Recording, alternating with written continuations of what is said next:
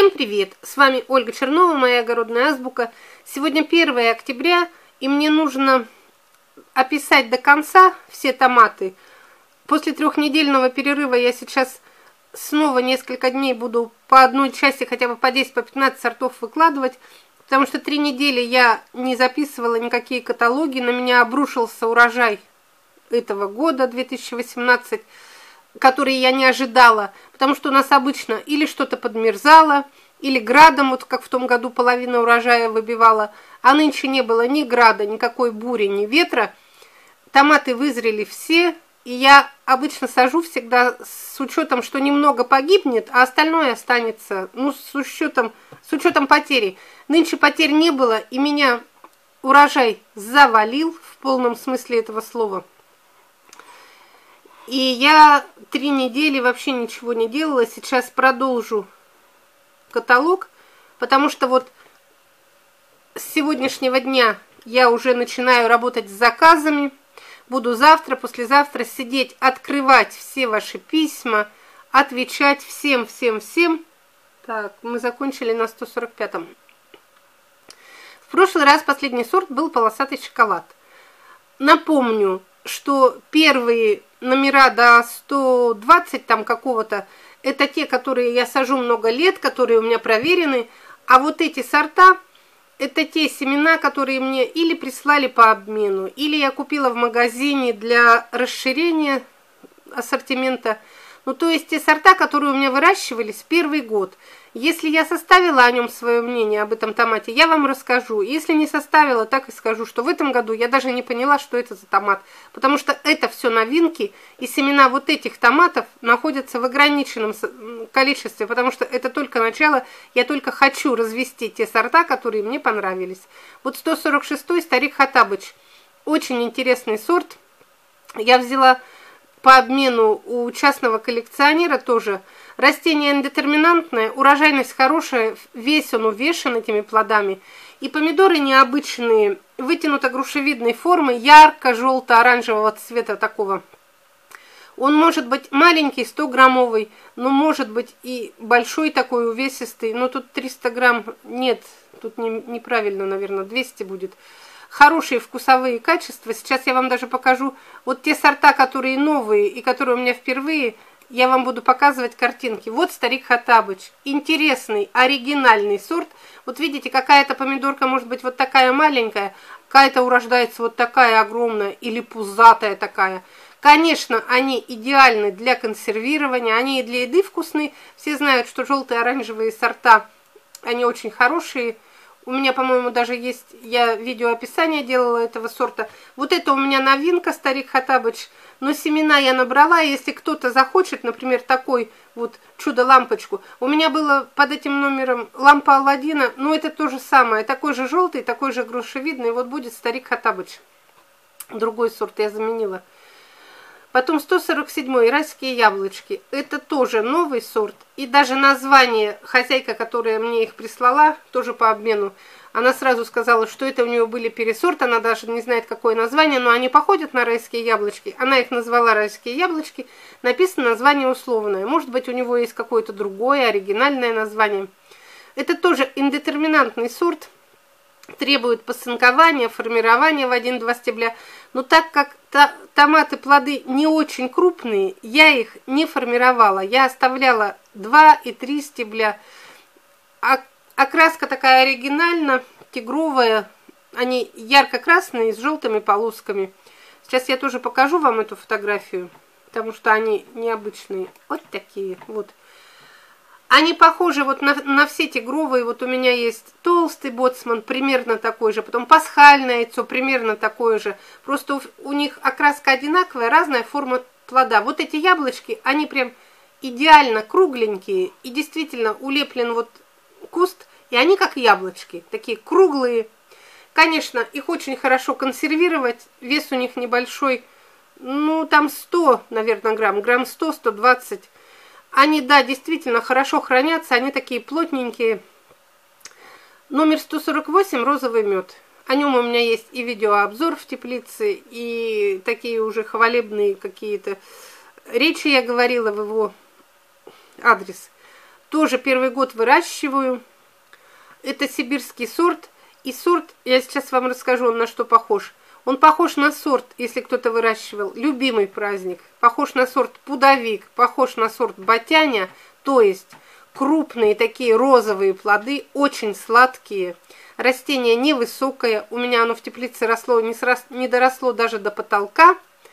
Тут написано 60-70 сантиметров, это, наверное, в открытом грунте, но в теплице оно будет повыше. В открытом грунте тоже посадила, прекрасно вызрело все, но веса, полтора килограмма веса у меня не было, потому что я не укрупняю томаты. Некоторые для того, чтобы укрупнить томаты, убирают лишние завязи.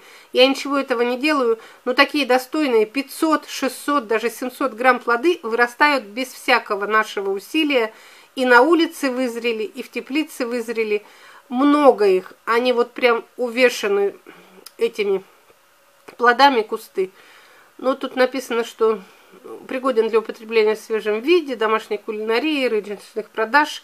3 метра выращивать 2-3 стебля с подвеской. Ничего особенного в выращивании нет, как обычно. 149 лопатинские. Вот это тоже новый сорт, я покупала в магазине. Каких-то, как сказать, каких-то особых вот ничего я у него не выделила. Это знаете, как вот могу о нем рассказать? Это вот такой классический наш советский томат, который написано крупноплодный для теплицы открытого грунта, высотой 1 метра, плоды плоско-округлые, ровные, красного цвета, массой 600-800. У меня примерно 400-500 было, потому что у нас нынче засуха, все поливать я не успевала, воды было им мало, и они были как поменьше немножко весом, но очень сладкие. Да, они вот такие обыкновенные красные, плоско-округлые, ровненькие. Вот как раньше бабушкин томат, вот как вот мы представляем, такой вот был красный, ровный, круглый. Он растет хорошо в открытом грунте, у меня рос такой, как, ну как сказать, вот такой среднячок. Именно его можно и в салат, его можно потом и для кетчупа, и для лечи выращивать 2-3 стебля с подвязкой капори. Но вот это вот про некоторые я говорю, вот он меня так поразил, он меня так изумил. Вот этот обыкновенный такой средний томат. Он не отличается ни сильно красотой, нет в нем никакой необычности.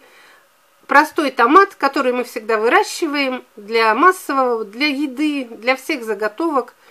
Это не экзотик и не супер красивый, обыкновенный бабушкин томат. Номер 150 Бернская роза а, да, кстати, я хочу сказать, что он у меня выращивался первый раз, но семена его есть. Если кому-то нужен, вот просто хорошо, стабильно плодоносящий томат, это вот лопатинский. Он крупный, он такой хороший, неприхотливый. Бернская роза.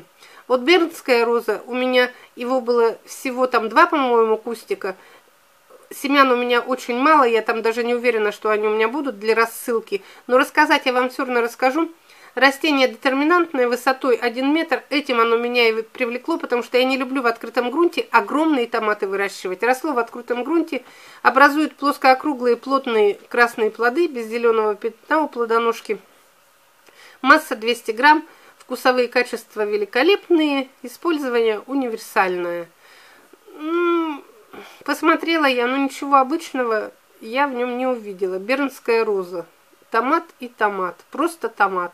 Наверное, на будущий год я его не буду высаживать, потому что просто томатов очень много у меня.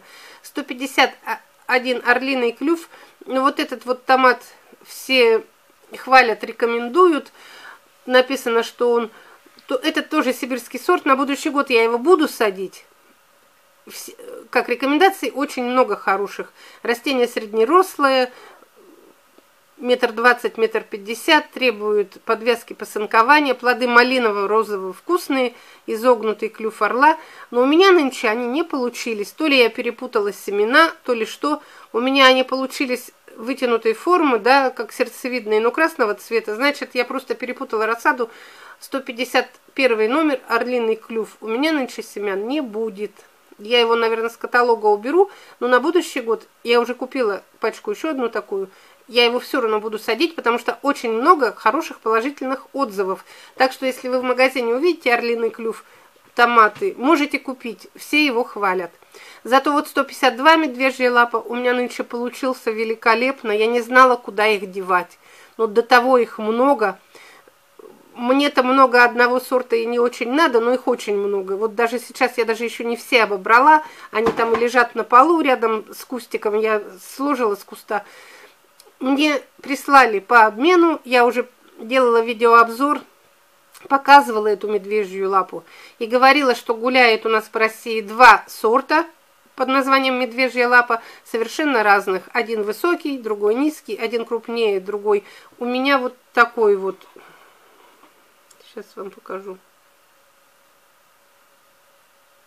А где она, медвежья лапа? Ой, не скинула фотографию, извиняюсь. Но я, у меня есть видеообзор. У меня медвежья лапа, которая... Сейчас скажу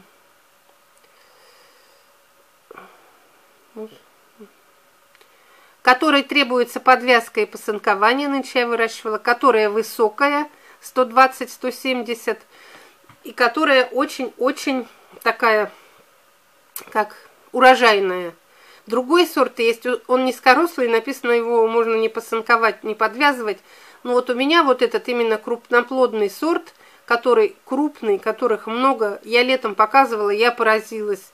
Урожайность поразительная, очень-очень много, и они такие ровные все, выровненные, нет ни корявых. Вот бывает, что есть какие-то изломанные томаты корявые там и сросшиеся и всякие, и такие сильно волнистые. Вот это ровные, как картинка, как на подбор. Все. Семян у меня много. Кто хочет вот такой урожайный сорт, можете заказывать. Я наготовила семян, семена отличные. 152 убойная сила. Вот это тоже я первый раз выращивала. Я не поняла ничего об этом сорте. Не могу даже не сказать ничего плохого или хорошего. Написано «Новый высокоурожайный сорт для открытого грунта». Детерминантный, низкорослый. В посынковании не нуждается. Однако при посынковании до первой цветочной кисти плоды будут крупнее, дружнее созреют. Вот я его, если честно, не посынковала. Раз написано «не нуждается», значит не нуждается. Действительно, вырос низкий. Но тут вот написано, что плоды весом до 150 грамм. У меня они даже 100, были 100-граммовые, не больше. Ну, короче, получилось их плодов много. Действительно, он как кустик улеплен, но они получились меленькие. И ожидала я от него больше. На будущий год буду испытывать еще раз. Если кто-то, вот, например, будет выписывать убойную силу, ну вы, значит, ожидайте. Я не знаю, вот это или они завысили вес, или потому что у нас нынче было сильно жарко, у меня получились мелкие. Если у вас вырастет убойная сила мельче, чем вот, вот это заявлено, до 150 грамм, не удивляйтесь. У меня вот она выросла не очень крупная, хотя он везде пишется, что это крупноплодный сорт. 100 граммовки получились, не больше. Но зато их можно 4 растения на 1 метр, и зато куст детерминантный невысокий, он низкорослый, можно не посынковать. Вот я и не посынковала, но они как говорится, здесь надо было, чтобы крупнее, наверное, все-таки их пропасынковать. 153 фартовый. Я показывала видеообзор на улице его. Индетерминантный, высокий сорт, метр пятьдесят пять.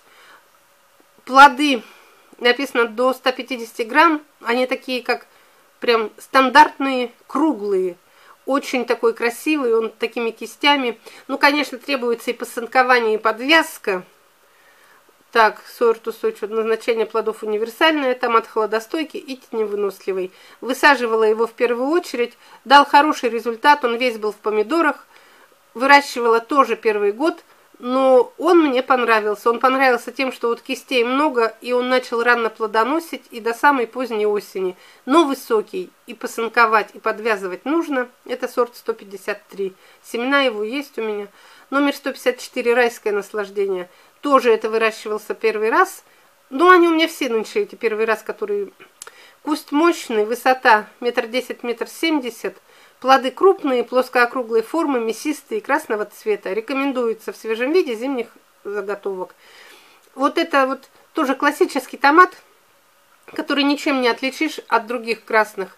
Красный, плоскоокруглый. Мне понравился, что он действительно, даже вот в такое засушливое лето, как у нас нынче, получился такой крупненький, мясистый. На него приятно посмотреть, эстетически они очень красиво выглядят, прям много-много их.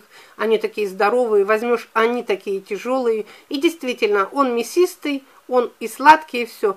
Ну, естественно, за такими томатами нужно и посынковать, нужно подвязывать. Плоды огромные, и чуть куст перерастает выше колышка, он начинает заваливаться, обламываться. За ним нужно следить, но помидоры хорошие. Семена у меня эти есть. А вот растения подвязывают, формируют в один-два стебля. Да, кстати, даже написано специально. И обязательно является удаление боковых побегов, пасынков. Вот про что я и говорила, что плоды крупные, если не подвязать, они сразу обламываются. Так, супер экзотик. Вот супер экзотик, я вам специально тут фотографию скинула. Супер экзотик похож, вот кто выращивал добарау черный, на добарау черный. Вот такие сливовидные. Смотрите, вот это супер экзотик. Сейчас покажу добарау черный. Они как близнецы. Вот это добарау черный. Только на добарау нет полосок. Он однотонный, такого темно-темно-красного цвета. А на супер экзотике, вот видите, такие как штрихи, полоски. Он напоминает и пасхальное яйцо, и вот эти всякие тигровые сорта. Так, сейчас я вам расскажу о нем. Первый раз тоже, я тоже по обмену его взяла. Плоды сливовидные, темно-красные, с темно-зелеными полосками. Точно, вот он такой же темно-красный, как Дебарау, но Дебарау чуть с черным оттенком. И вот такие зеленые штрихи такие вот массой до 50 граммов. Но вот у меня нынче какие-то 50-граммовые выросли, какие-то прям выросли хорошие, грамм 70, такие толстенькие, как яички. Кистевой урожайный сорт, идеально для консервирования, а оригинально смотрится в банках. Очень редкий сорт, индетерминантный, формировка в 2-3 стебля, 180 сантиметров. У меня он вырос 180, а даже чуть немного больше. Там уже макушки потом последние, они у меня завалились, упали на бок. Тут написано формировка в 2-3 стебля. Я не формировала в 2-3 стебля. Я всегда делаю, если мелкоплодный, пусть растет сколько, ну сколько будет стеблей, пусть 3, пусть 4. Был весь увешан вот этими вот сливками полосатенькими. Очень красиво смотрится и сами, когда вот в кучку соберешь, очень красиво. Как какие-то перепелиные яички, что ли, вот такое вот напоминает. Я их еще не засавливала в банке, у меня еще все стоит. Я только что недавно последние обобрала, потом в банке покажу. Но я думаю, что для консервирования он идеален, походит, подходит и по размеру, и по расцветке. Рекомендую сорт, очень интересный. Он и экзотический в, в одну, ну как с одной стороны. С другой стороны, его для консервирования вкусный и вот эти сорта, вот нынче я начала первый год, как вялить томаты, вот такие сорта, как Дебарау черный, как Супер Экзотик, они очень хорошо подходят для вяления. Они небольшие вот такие, они очень быстро высыхают, завяливаются. Ну и вот последний, да, у меня семена есть, если кто хочет, несмотря на то, что это новый сорт, можете заказывать. Сейчас последний, номер 156 Мила расскажу, это время уже много Мила то же самое, что старик Хатабыч. Индетерминантное растение, плоды вытянуто-грушевидной форме.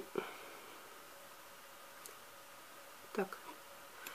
У меня, я пока сейчас не скинула фотку. Вот такой же формы, но розовые. Вот они один в один, как близнецы, только у них разная расцветка. Оба сорта высокие, очень высокие. Вес примерно 100 граммовка. Ну, ясно, что какой-то выйдет у вас 70 грамм, какой-то 120, может быть, даже 150. Есть такие вот прям хорошие, толстенькие. Конечно, этот сорт идеален для консервирования. Они очень вкусные.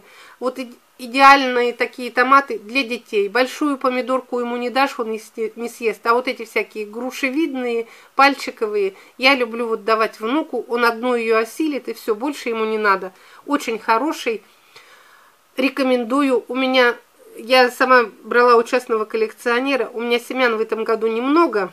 Но если кто-то захочет, у кого первые номера, например, до какого-то там, до, до сотого, до 150, можете заказать. Но вообще я садила, конечно, на пробу. На будущий год посажу их больше. Я же не знала, какие мне понравятся, какие нет. Но вот Мила и Старик Хатабыч буду обязательно садить на будущий год. Такая красота. Вот эти вот грушки висят такой вытянутой формы. Одни желтые, одни розовые. Мне очень понравились. Все, до свидания.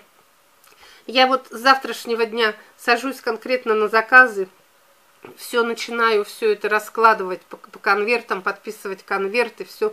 Но так как перец у меня еще дозревает, вы не расстраивайтесь, сейчас еще неделя, дней 10, и будет все, буду сформировать. Я сейчас вот начала один заказ делать, второй. Там, где есть перец, перцы еще не просохли, я мокрые семена вам не могу раскладывать, так что еще немножко терпения, теперь уж подождете, вы ждали меня долго, пока я расквитаюсь со своим с урожаем. Сейчас все разгребу и начну стабильно, ежедневно делать по сколько-то заказов и отправлять. Все, до свидания. Дальнейшее знакомство с подробное с томатами и с перцами буду записывать завтра. Теперь постараюсь каждый день по одному каталогу выкладывать, потому что уже нужно делать выбор. Изменю завтра, наверное, все каталоги, уберу те сорта, которых не будет, и добавлю те сорта, которые будут, которые еще не заявлены у меня. Все, до свидания.